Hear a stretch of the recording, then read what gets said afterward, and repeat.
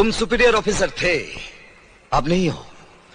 अब मैं इस आज़ाद देश का एक आज़ाद नागरिक हूँ और तुम जैसे अफसरों से जैसे चाहूँ बात कर सकता हूँ।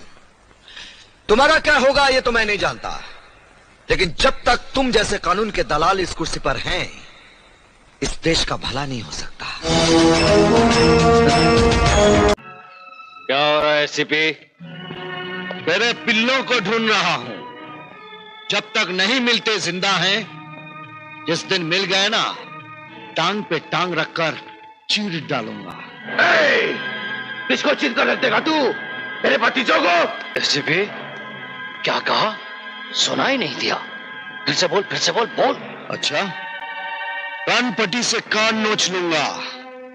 तेरे बच्चों की मौत की चीखें भी तुझे सुनाई नहीं देगी। पंगा नहीं लेना। मिट्टी में मिला दूँगा।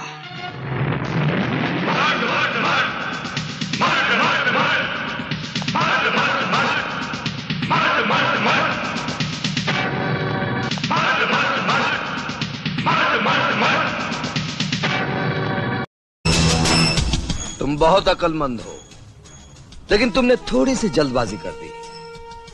मैं तुम्हें गिरफ़्तार करने नहीं, बल्कि यह बताने आया हूँ कि मैं तुम्हें बहुत जल्द गिरफ़्तार कर लूँगा।